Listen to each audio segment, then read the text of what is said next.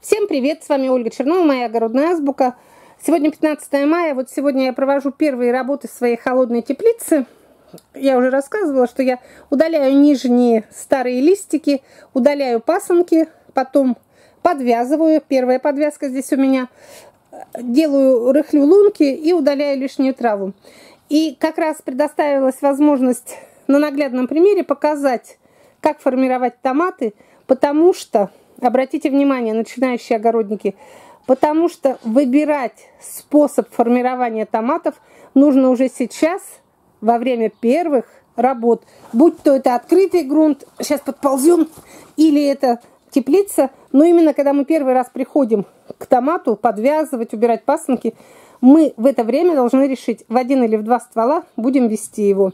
Вот в предыдущем ролике я рассказывала, как вести в один ствол, и я говорила, что это самый-самый легкий способ. Оставляем основной ствол, остальные пасынки все выщипываем или выстригаем. Следующее по сложности – это формирование в два ствола. Тут нам уже нужно определить, каким будет второй ствол, какой оставлять второй ствол.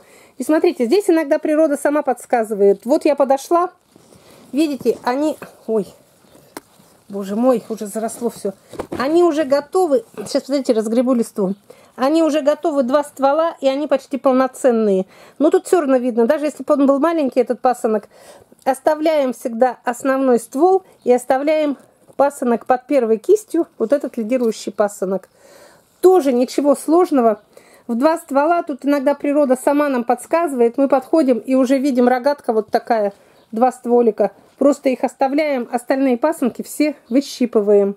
Еще раз повторю, что формировать или нет мы решаем сами, но обычно индетерминантные крупноплодные томаты рекомендуется формировать в первую очередь, а детерминантные мы уже там э, сами решаем. Можно их бросить на самотек, можно формировать, но только обратите внимание, начинающие огородники, что формирование томатов, то есть и посынкование, и прищипка, и удаление вот этих лишних стволов, удаление нижних старых листьев, это вот старый такой агротехнический прием, который не только мы делаем для того, чтобы укрупнить плоды, а мы делаем для того, чтобы ускорить созревание наших плодов. Когда мы сейчас, я вот лишние пасынки все уберу, выщипну, у нас нахлебников не останется, и все питание томата будет брошено на цветочные кисти, на опыление, на формирование, на налив плодов.